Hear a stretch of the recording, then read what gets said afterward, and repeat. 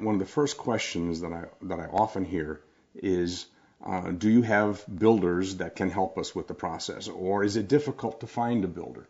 Uh, my answer is generally, yes, we have builder dealers pretty much covering the whole United States. Our builder dealers uh, are trained by us. Um, they're educated at our schools. Uh, we work with them with our field people. Uh, they work the entire process with us. In doing that, when you are associated with one of our builders, you can be assured of two things. One is they understand our process very well. And number two, they understand that they need to deliver a product to you that you're going to be happy with through the building process and after it's entirely complete. What it really brings to a customer having a, a local representation for a builder dealer is virtually a seamless process from design through construction of the home.